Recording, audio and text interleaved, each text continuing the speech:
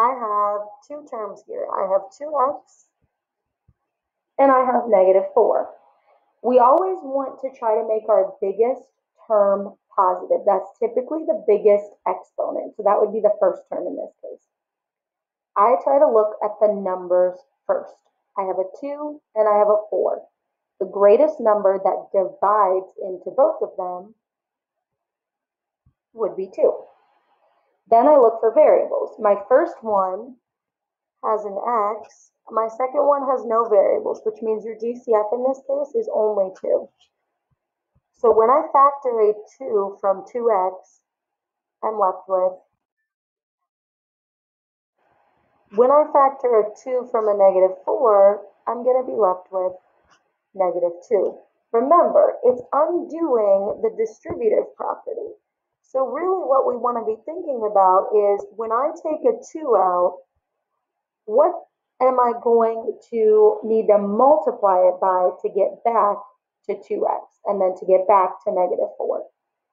So when I do my check, here's my answer, 2 times x minus 2. I go ahead and I distribute. So 2 times x is 2x. 2 times negative 2 is negative 4 which is what we started with. We're good. That's our final answer. When I look at my second problem,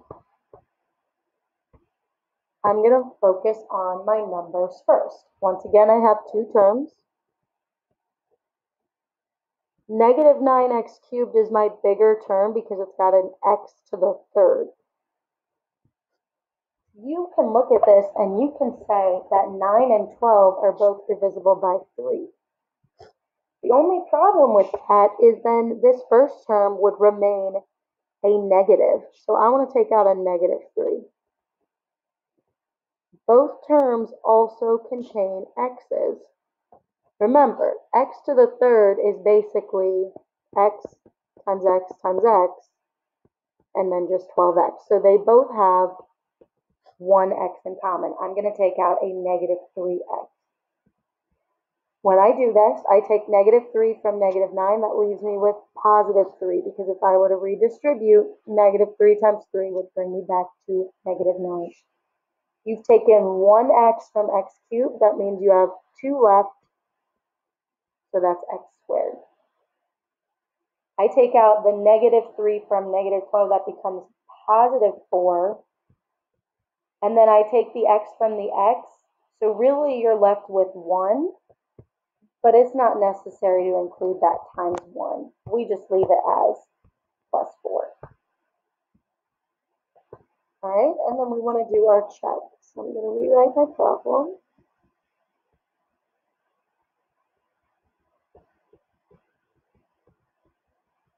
And I'm going to distribute. Negative 3 times positive 3 is negative 9. x times x squared is x cubed. Negative 3 times 4 is negative 12. x times just itself is x. It's what we started with originally. We can box in our answer.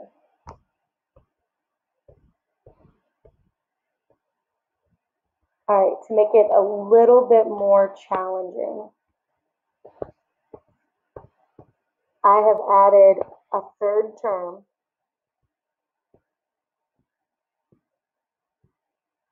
and another variable.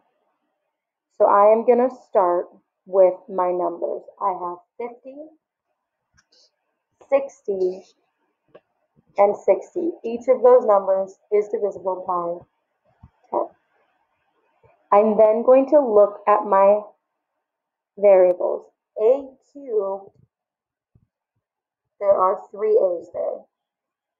The second term has a squared, there are two a's there.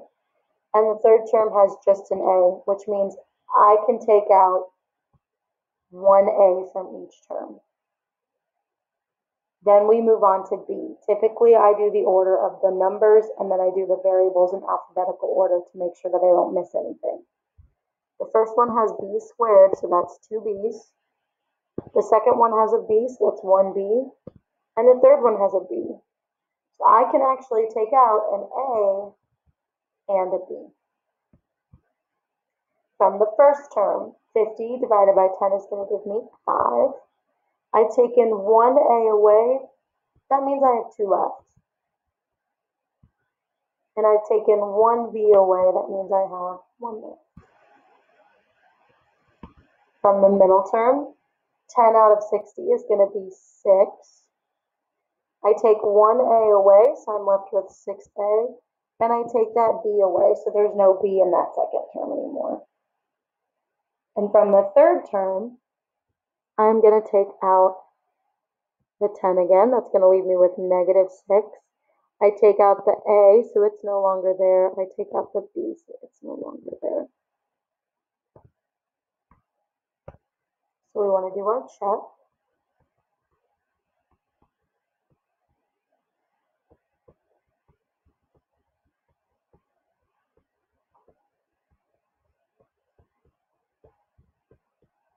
As you learn more challenging types of factoring, the check part is going to become increasingly more important. So first term, 10 times 5 is 50.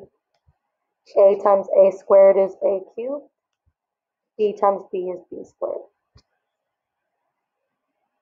Multiply by the middle term. 10 times 6 is 60. a times a is a squared, and then I bring the b back in as well. And then by the third term, 10 times negative 6 is negative 60. Bring in the AP, which is what we started with. We are good on that one as well.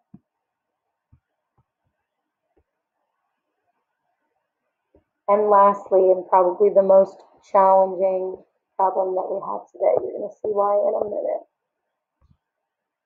I have three terms I'm focusing on my numbers first. 12, 18, and 6 are all divisible by 6. The first term has an n cubed, that's n times n times n. The middle term has an n squared, that's n times n. And the final term has an n, which means I can take out one n from each of these. When I do this from the first term, 6 out of 12 is going to give us 2. I take 1 n away, and I'm left with n squared.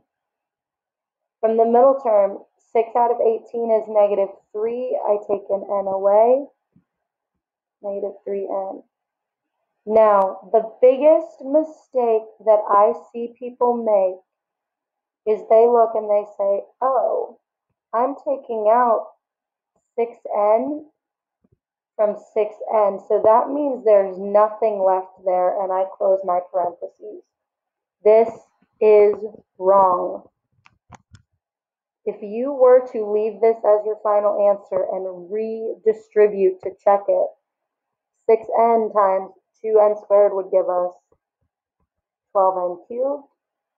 6n times negative 3n would give us negative 18n squared. But that's not your original problem because your original problem had three terms in it.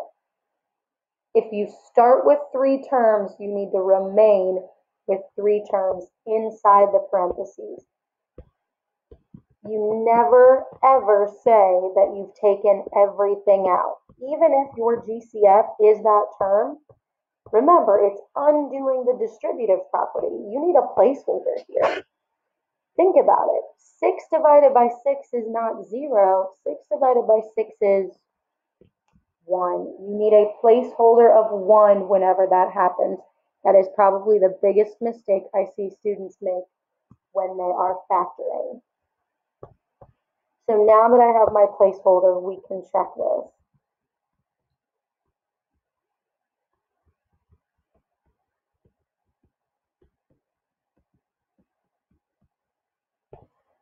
So 6n times 2n squared, that's going to give us 12n cubed. 6n times negative 3n, that's negative 18n squared. And then 6n times 1 is positive 6n. Remember, the checking is so important because of that key mistake that I just showed you. If you don't check, you probably wouldn't have realized that was an issue. We see that they match we see that we factored correctly.